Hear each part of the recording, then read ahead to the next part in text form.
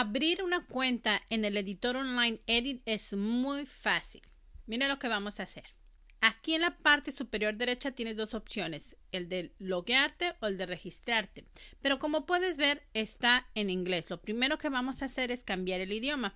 Y para cambiar el idioma, tenemos que ir hasta la parte de abajo, que es el footer, y aquí, entre todas las opciones, vas a encontrar una que dice Languages y abajo dice Español. Si tú le das clic a Español, inmediatamente va a cambiar al idioma español. Y ahora sí podemos iniciar el registro. Vamos a darle clic al botón que dice registro.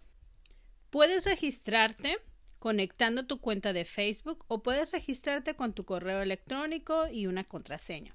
Yo siempre te recomiendo la segunda opción de registrarte con tu email en caso de que llegaras a perder tu cuenta de Facebook o no recuerdes la contraseña. Va a ser mucho más fácil restaurar tu contraseña por medio de tu correo electrónico. Entonces aquí escribes tu correo electrónico.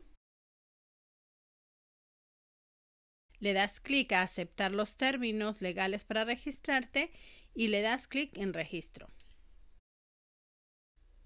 Después te da un mini tour si le das clic a este video, te va a hablar un poquito de cómo diseñar dentro de esta herramienta. Algo muy importante que tienes que hacer una vez de que te registres es de ir a tu correo electrónico y revisar el correo.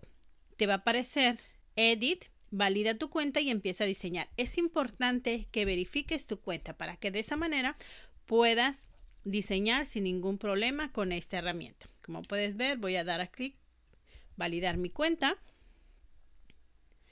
De esa manera no voy a tener ningún problema para empezar a diseñar. ¿Ok?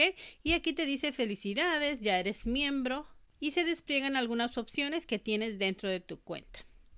Le das clic a empezar y puedes empezar a diseñar. Como puedes ver, crear una cuenta en esta herramienta es muy, muy fácil.